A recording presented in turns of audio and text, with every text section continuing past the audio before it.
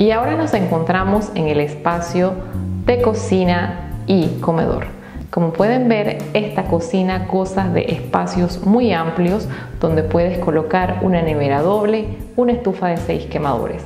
Aparte, es importante resaltar que en este modelo la cocina cuenta con muebles inferiores y muebles aéreos o superiores.